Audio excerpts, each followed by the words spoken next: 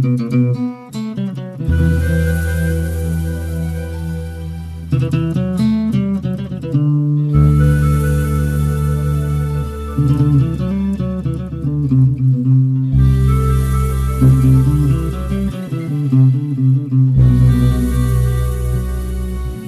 បានជួបគ្នាក្នុងគ្រាចៃដន្យ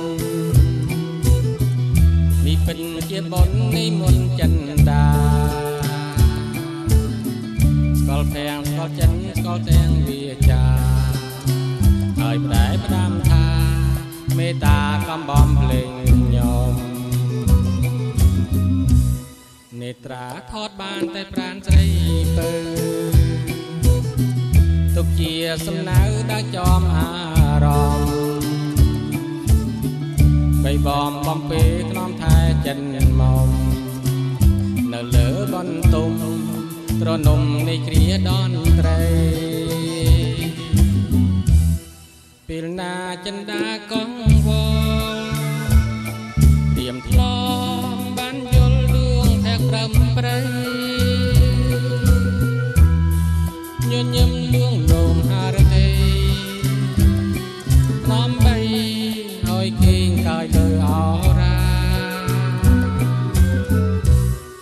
ពេលរាត្រីស្រមៃគឺស្ងួនសំផស្សខ្លួនខ្លួនពួននៅនីសាបងបងវល់វល់ដោយខ្យល់តណ្ហាដនរោលចិនដាដោយសារតែរួមស្រីមួយ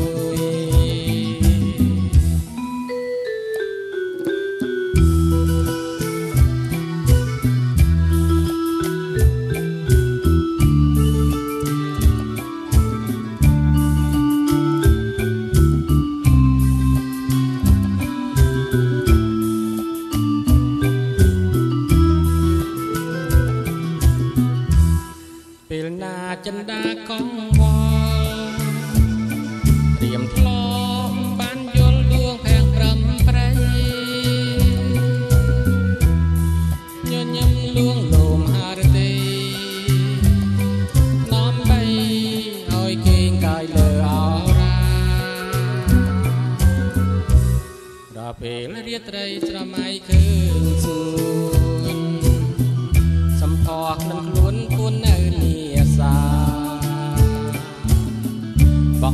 វល់វល់ដោយខ្យល់តណ្ហាដនរោលចិនដាដោយសារតែរួមស្រីមួយ